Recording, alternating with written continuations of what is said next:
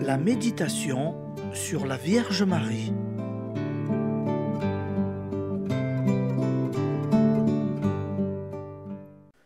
D'après l'apparition et conversion d'Alphonse Ratisbonne de la congrégation de Notre-Dame de Sion.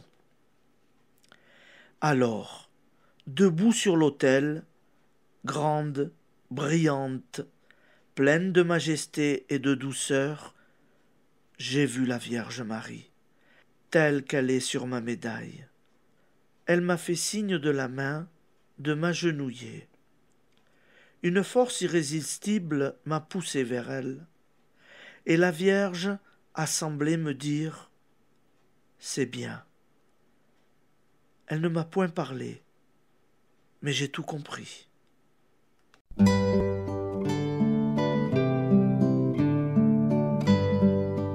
C'était la méditation sur la Vierge Marie.